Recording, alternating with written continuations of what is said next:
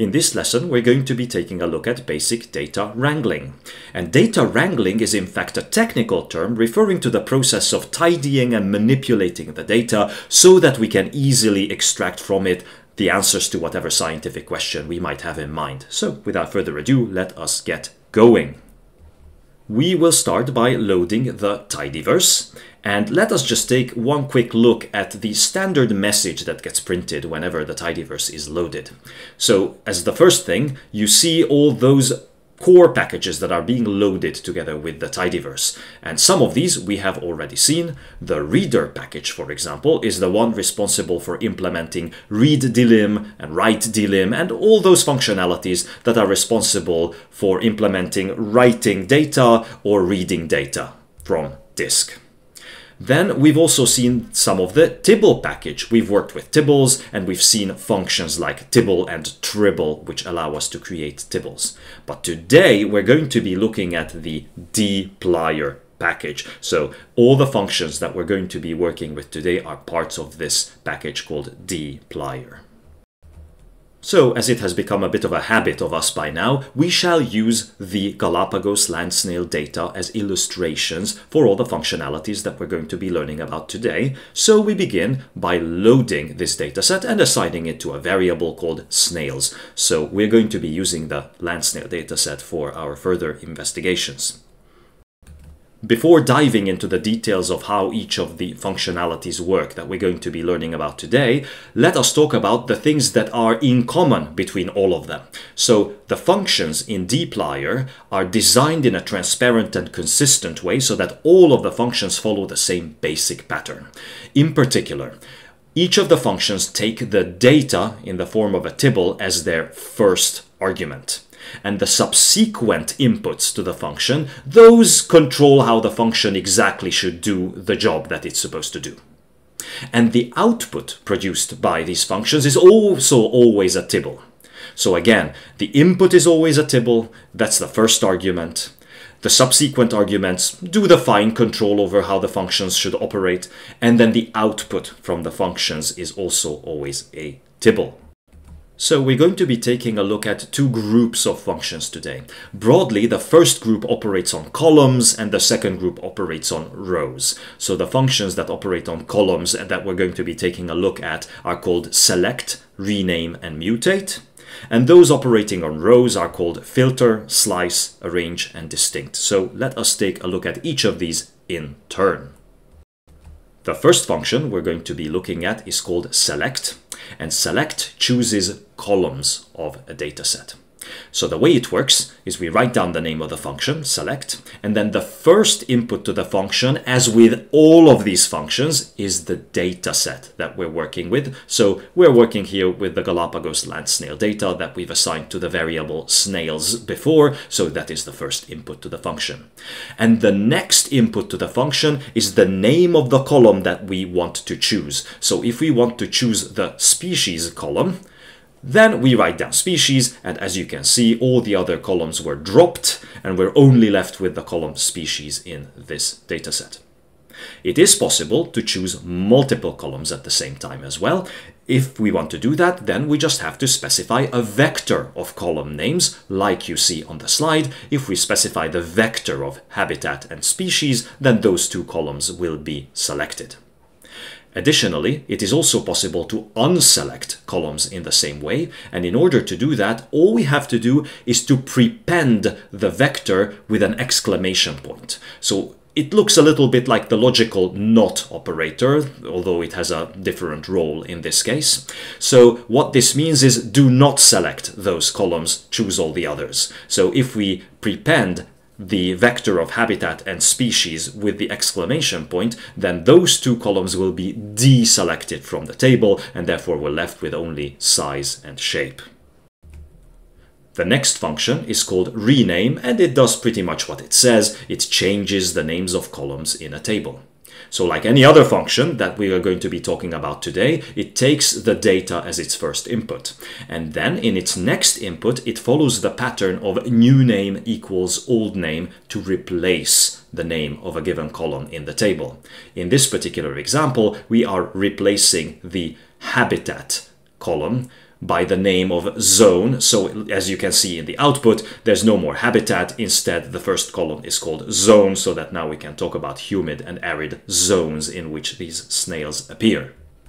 It is also possible to rename multiple columns. In that case, one just has to separate the different renamings by commas. For example, if we want to capitalize each of the column names, make them start with a capital letter, we can do what you see on the slide. Capital H habitat equals lowercase habitat, capital S species equals lowercase s species, and so on and so forth, which will replace the lowercase names with the uppercase names. And as you see in the output, now each of the column names start with a capital letter.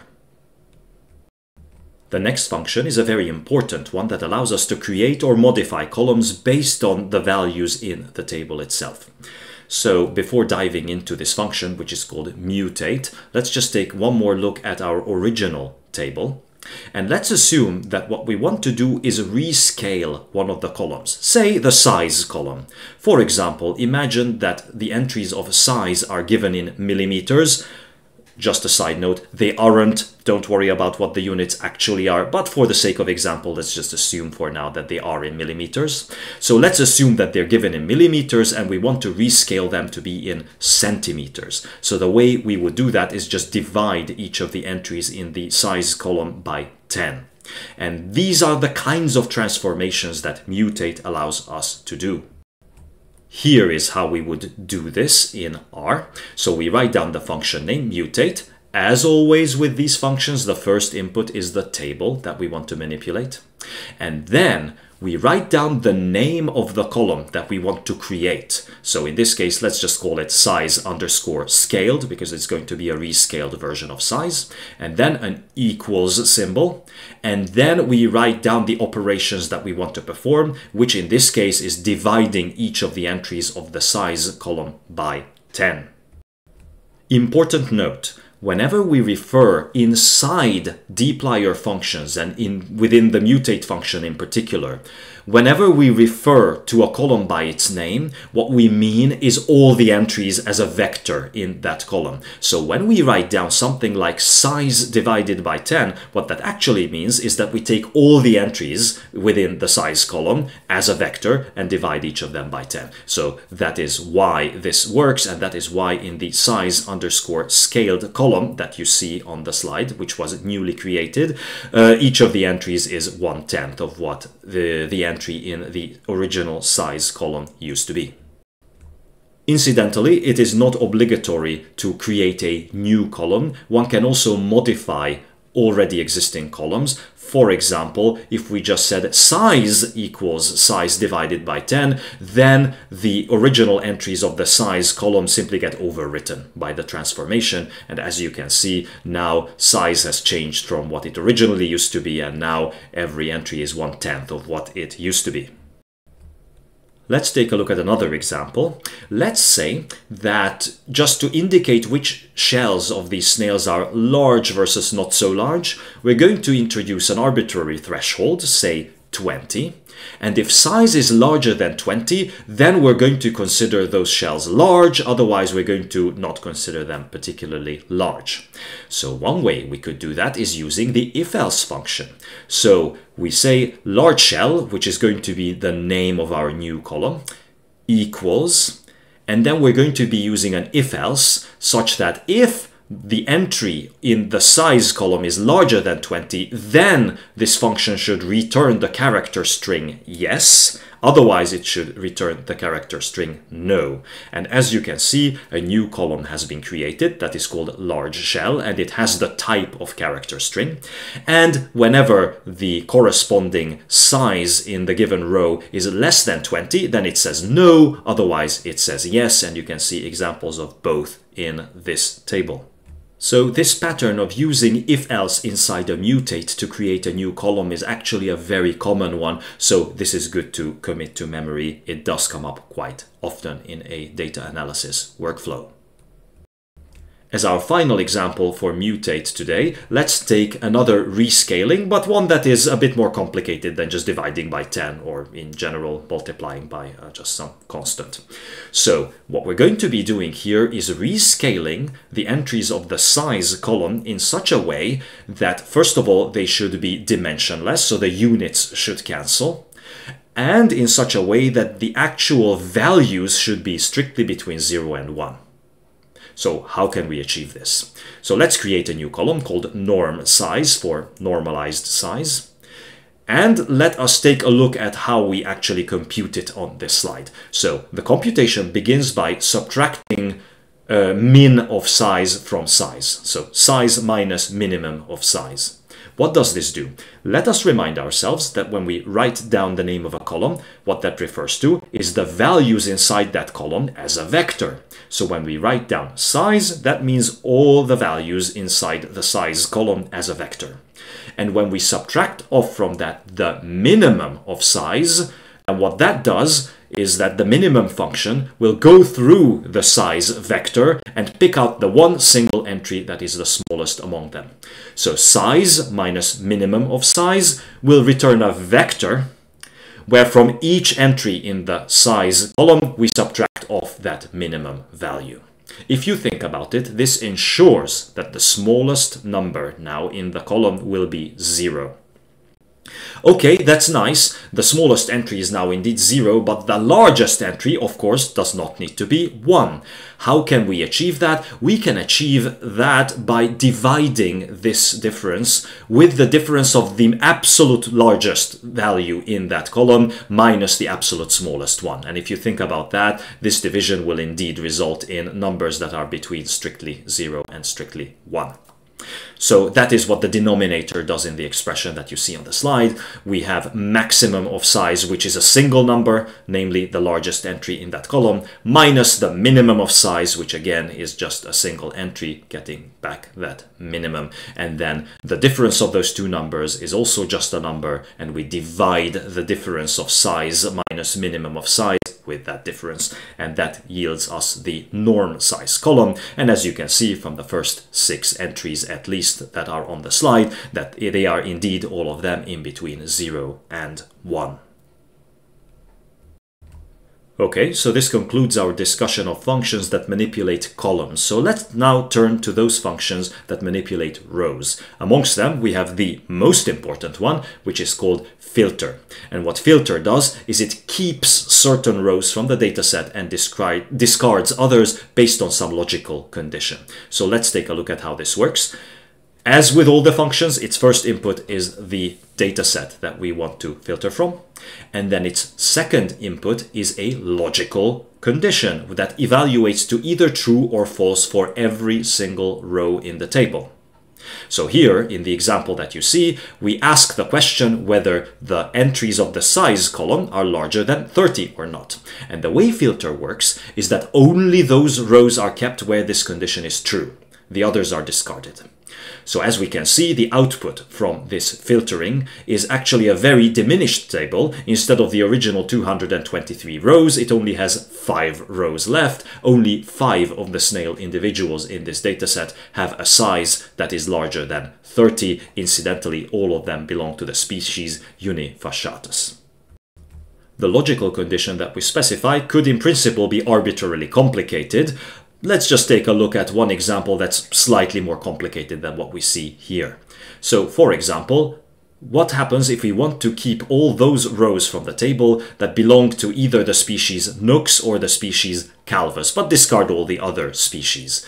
We can do that with the OR logical operator. So we write down species should either be equal to Nux or species should e be equal to Calvus. And uh, as you see from the output, we get a table with 90 rows only, uh, namely those rows where the species entry is either Calvus or Nux, all the others have been discarded.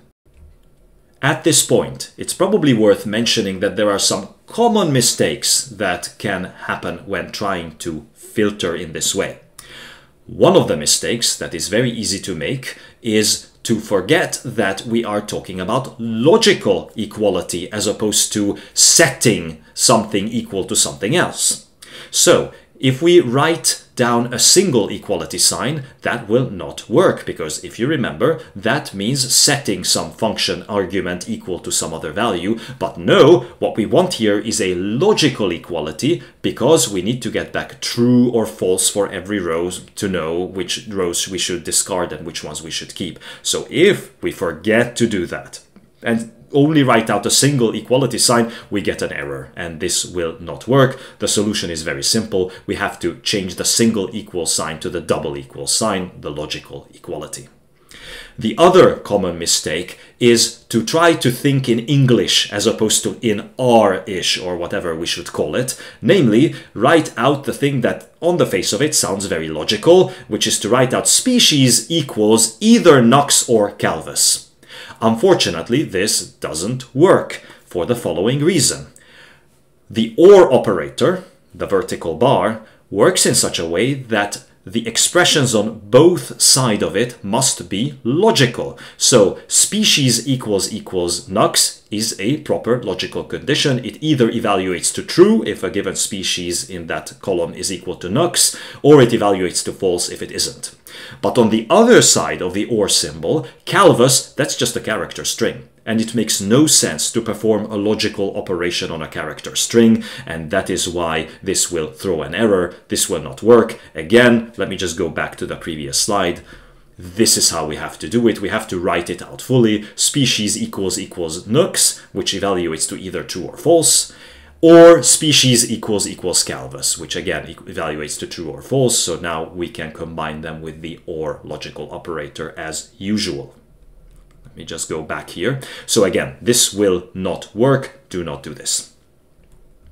To make things even worse, sometimes when you try to do this exact same mistake, R will not throw back an error, but instead do something unexpected that you do not want and do not intend. Let us take an example.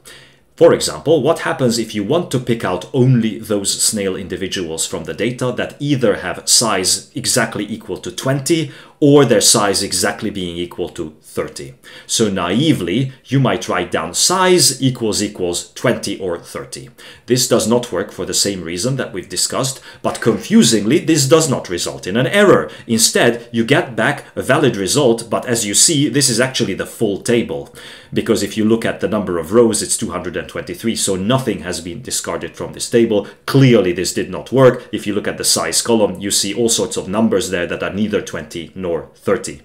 So what on earth has happened here? Well, what happened is that R has a quirky kind of feature or behavior, let's just put it this way, namely it treats the number 0 as false and any other number as true. So when the computer sees this expression, size equal equal 20 or 30, the way it interprets it is first of all it evaluates whether the size is equal to 20.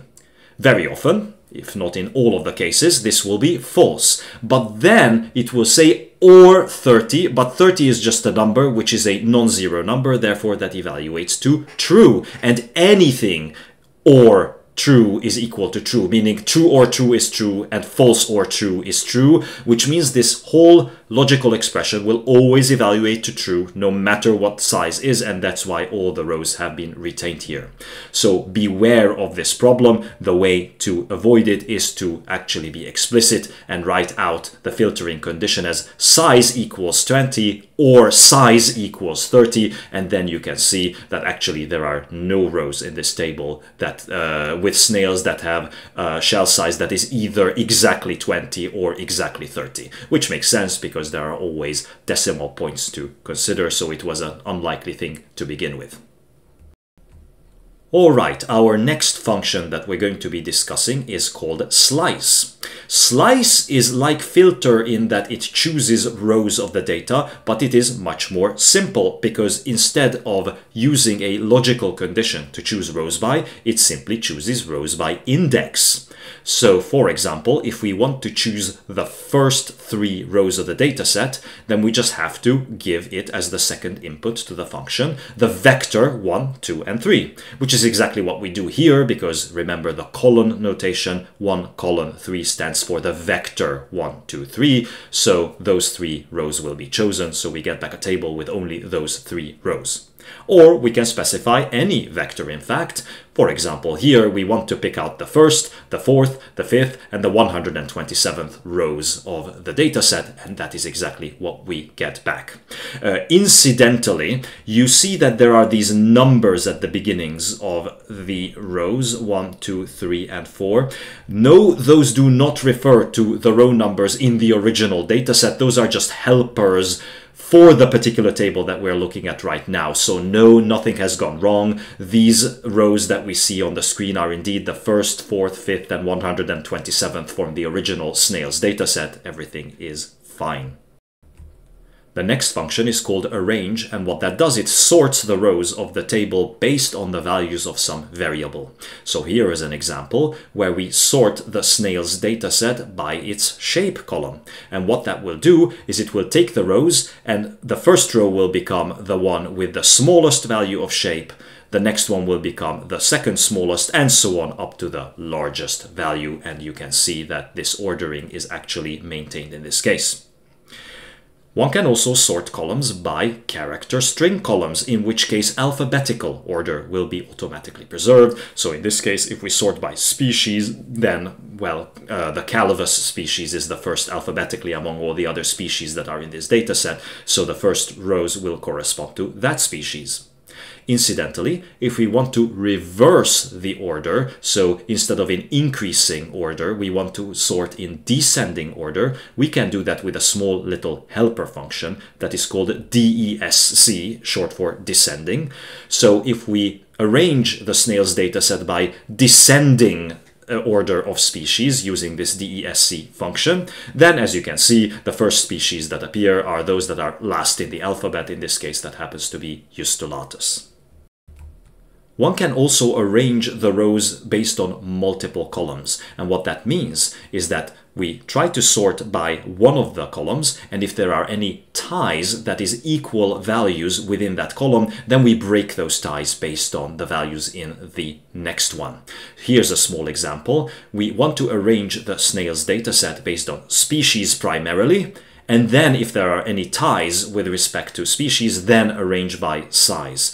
So because we sort by species first, the uh, first rows will all correspond to the species Calvus that come first in the alphabet. But within Calvus, there's no guarantee that the sizes will be in increasing order, but now they are because we've specified that our second sorting variable should be size, and therefore within every species, the sizes are strictly going to be increasing. Finally, the last function that we're going to be talking about today is called distinct.